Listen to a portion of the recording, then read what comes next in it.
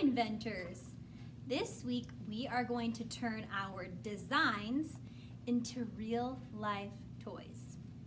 So the questions we're going to be asking ourselves this week, how can I turn my toy design into a real life toy? And then we're also going to be asking ourselves what materials do I need in order to make my own toy? So mentioned before that the toy I'm going to make is going to be a puppy dog. And I already, um, we already shared in one of our morning meetings last week about all of the create, creative ideas that you guys came up with. Now, when I sent these baggies home in January, I didn't know what you were going to be designing for your toy.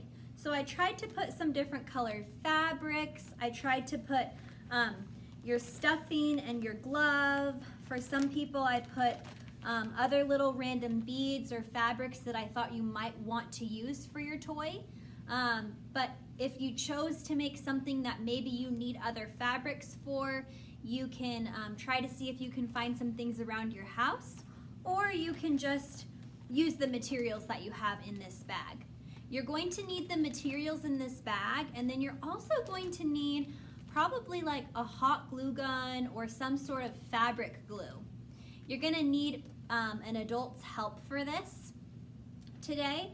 So it might be a little, little bit of extra work for um, your family members who are helping you, but um, we'll just try to do our very best to create our ideas, um, or to create our toys from our ideas.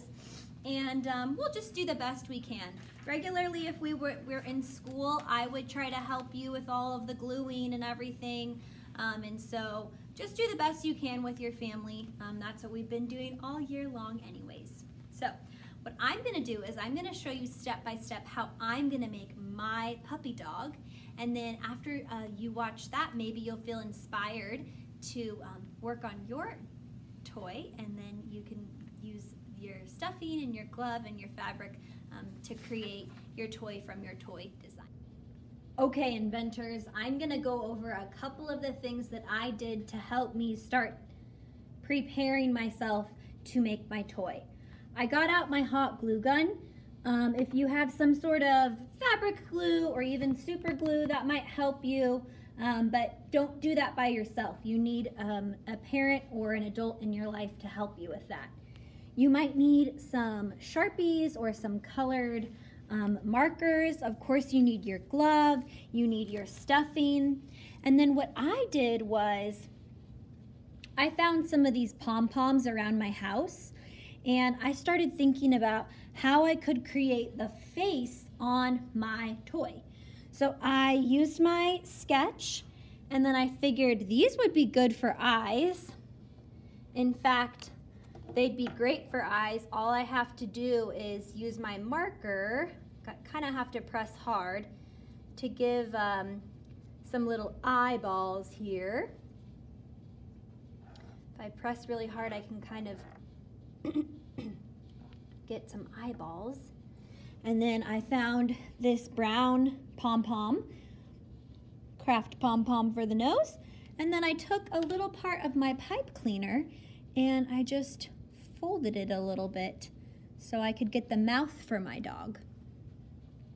So now I'm going to stuff my glove and I'm gonna have to figure out how I wanna do it because like I said, this is gonna be the front of the dog and then it's gonna have two ears. So I might have to figure out what to do with this side finger right here because I have to somehow try to make two ears. So I'm to have to figure that out um, before I start gluing. What I'll do first is I'll stuff my glove. All right, so I got my glove all stuffed. The hardest part was the fingers. I had to press down really hard. I don't know if that happened to anybody else, but that was definitely the tricky part for me.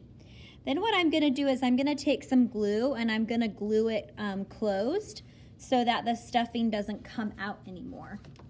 So I'm just gonna quickly glue it closed. Don't use any kind of glue like this unless you have an adult with you because it can be kind of dangerous. All right. So then once that's all glued shut, I was thinking to myself that I kind of want to create my own ears.